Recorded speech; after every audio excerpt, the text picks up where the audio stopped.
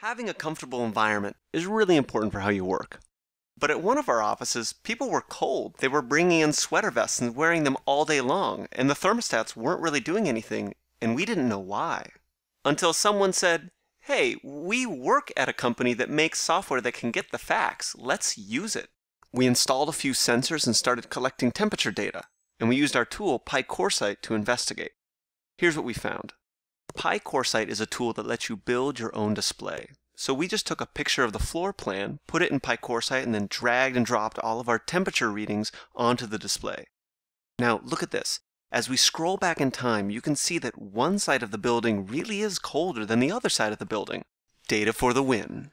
Next, we wanted to show what was happening over a 24-hour period. In PI Coresight, you can also show data in charts and graphs and tables. We used the event viewer in PI Coresight to overlay many days of temperature readings against each other. At 6 a.m., the HVAC comes on and moves the temperature to room temperature in the temperate areas of the building. It stays that way for the working hours, then at night the HVAC turns off and the temperature fluctuates. On the other side of the building, at 6 a.m. when the HVAC is supposed to turn on, nothing happens. Later, we see that the afternoon sun slowly heats that side of the building, and at about 5 p.m., it reaches room temperature, just in time for everyone to go home and the whole cycle to repeat the next day. When the service company came in to fix it, we were able to share permission to view the data since PI Coresight is viewed in any internet browser.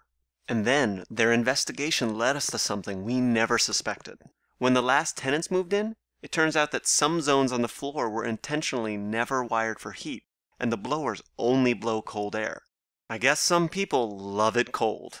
At OSIsoft, we make the Pi system and tools like PI PyCoreSight to handle operational data with speed and reliability.